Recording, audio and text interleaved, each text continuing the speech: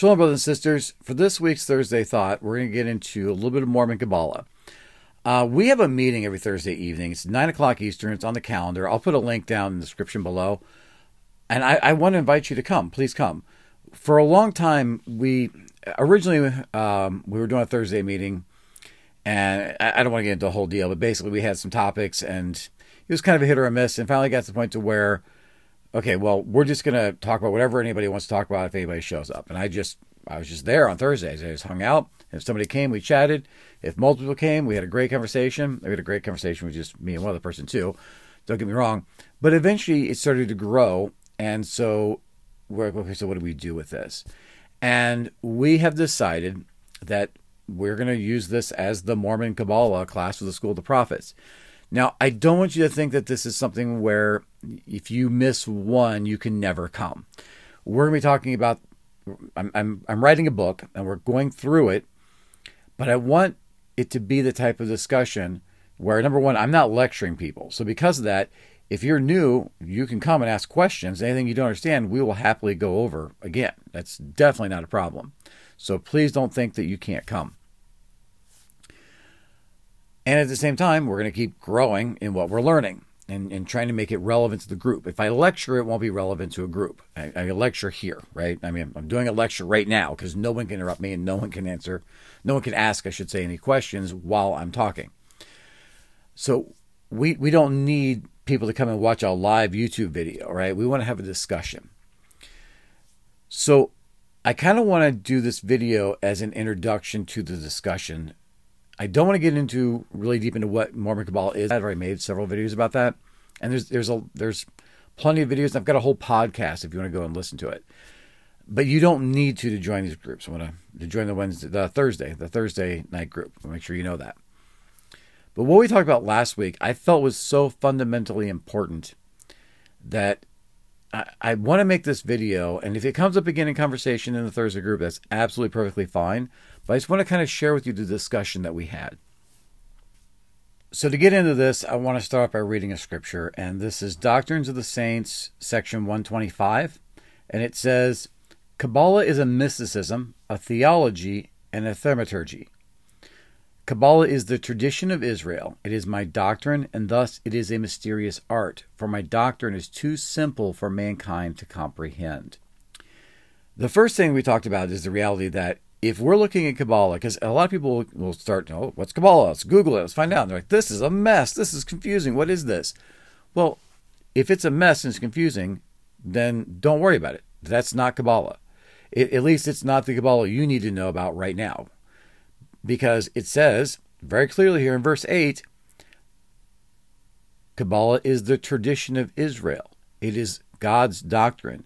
And thus it is a mysterious art. Why? because the doctrine of Jesus is too simple for mankind to comprehend. So if you're looking at this massive tree of life with all these Hebrew words, and you're like, this isn't too simple to comprehend, if you don't understand it yet, then you don't need to worry about it. We'll, we will get there together. Okay. I do want to discuss today, though, verse 7, where it says that Kabbalah is a mysticism, a theology, and a thaumaturgy. What, what are these things? What do they have to do with Mormonism? And, and how are we going to talk about them? Well, we went around the group and had everyone say, okay, what is mysticism to you? What does it mean to you? What, what is theology? What does theology mean to you? What does thaumaturgy mean to you? And we came to this idea that the mysticism is that the connection that we make with God, that personal connection, right? Because if you don't have that, then the theology isn't theology, it's just philosophy. So it's kind of like peanut butter and jelly.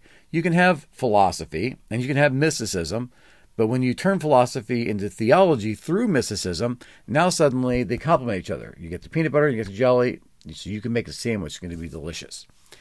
Now, thaumaturgy is really miracle working. That, that's that's the strict definition of it. But I've talked in other videos about how you know one time a woman just came and brought me food when I needed food. There's been there's been times when I saw someone that I wouldn't have noticed otherwise that needed help, and I was able to help them. You know, so it's gone both ways. A miracle doesn't have to be mountain move from here to here. You know, a mountain can be a simple act of charity. And so, therefore, this miracle working to me is the bread.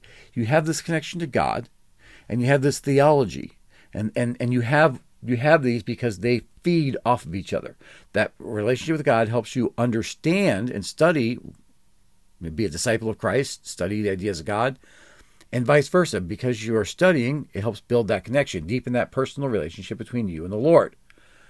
But what good is it if you're just doing that internally? If none of that leaves you and affects the world in your actions, then it's kind of irrelevant. So to me, the thaumaturgy is really the bread. You've got your jelly and you've got your peanut butter. You're not going to like have two spoons and kind of stir them together. No, you're going to put them on the bread and you're going to eat the sandwich, right? It's it's what the thaumaturgy is what brings the gospel of Jesus Christ to life. It, it's the practical application of the gospel. And so I think this is a really good example of this idea that the doctrine of Christ is a mysterious art because it's too simple for people to comprehend. We see this word mysticism there, and we're like, oh, so we have to go to a cave and meditate, and what, what does that mean? Theology, I've got to go to college and you know get a seminary degree, and thaumaturgy, I've got to, I don't know, am I healing the sick? Maybe what is this? we're thinking about it too hard. We need to step back and realize no, mysticism is just praying and listening to the Lord. It's that simple. We do that every day, right? Theology is a general understanding, thinking about reading the scriptures. What do they mean through the Holy Spirit? Putting that, that mysticism, your prayer, and the scripture study to, to get together to good use, right? You can have uh, an atheist read the Bible and he's going to come up with this crazy stuff. So you don't eat shellfish. Like that's not really the point of this book. Um, and then the thaumaturgy. That's just the practical application. These are words that we take and we, we try to make them into something crazy complicated, but it's the simplicity that we should be striving for. And so, if you're coming to this class I don't want you to think this is going to be boring because we're just talking about simple things. But at the same time, I don't want you to think that we have to make it confusing or complex in order for it to work. We all exist on different levels. Think about math. If you think about math right now, 2 times 2 is 4, and it's just kind of common knowledge. But when I was a kid, I first learned addition. And I learned that 2 plus 2 was 4. And that 3 plus 3 was 6. And I felt very smart. I'm like, okay, I've got 2 here, I've got 2 here, boom, now I got 4. I have 3 here, I have 3 here, boom, now I have 6. This is great. Well, now suddenly we're going to take it a different way. If you have 2 and 3 and subtract, mm, you got 1. And that's a different concept. But it wasn't really that hard because I'd already learned the addition, and so I fed off of that, right? Then it came time for multiplication. Ooh, that's easy. Zero plus anything is zero. Mm, got it. One uh, one times anything is that number. Got it. Two times two. Okay, now wait a minute. Why is two times two four? Just like two plus two, but then two times 3 is 6 and 3 times 3 is 9. And suddenly you realize, okay, well, no, you've got two sets of twos, which makes 4, or you have two sets of threes, which makes 6. Um, I don't have six fingers, so I can't really do that one very well. But the concept is easier to understand because you've already had the the addition and subtraction. And then when it comes to the division, you know, I, I still remember my teacher saying, This is the hardest one at all. I was like, Oh no, the hardest one of all. But then I was like, No, this is like subtraction. This is just backwards multiplication, right? And she's like, Yes, that's that's a good way of looking at it. Yeah. It's the same thing here. you can take this idea of mysticism and say, you know, you got to go to a cave and meditate. And some people do. But it doesn't mean that's what you have to do. We're looking for the simplicity of the message. What is the Lord looking for in you? Theology. You can go and you can get a doctorate and and for some people that's that's exactly what is needed. That's awesome. But it's not mandatory for you to really understand the nature of God. Joseph Smith started this whole movement and he had a third grade education. Now, I'm not saying he was uneducated, he was very, very intelligent. Uh, but he was not a doctor, he did not have a doctorate. You, you don't have to do that or have one of those in order to, to really study theology.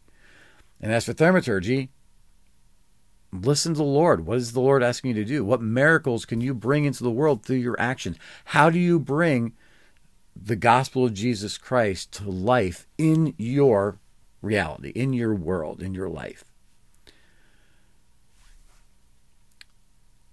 I think that when we try to make things more complex than they actually are, we move away from the Lord and towards our own imaginations.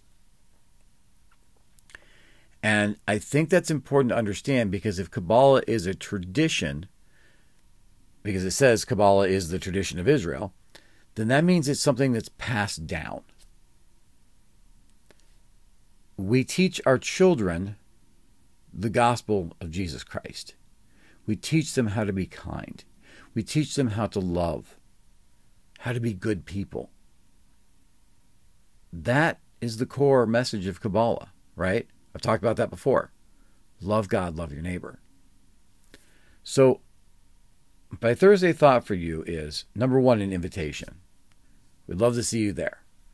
The link that's going to be in this video, even though it's not the correct date, the uh, the link to the actual place we'll be meeting will always be the same, and we'll, it will always be there on the calendar for you to find. The other thought I have for you is how can we deepen our relationship with the Lord without overly complicating things. I want to hear your thoughts on that question. So I hope that you will come to one of these meetings whenever it is. Five years from now, tonight, next week, doesn't matter. But I want you to think about it. How can we live the gospel of Jesus Christ in its simplicity, in the love, the love that we have for the Lord, and the love that we have for, the, for our neighbors, and the love that the Lord has for us.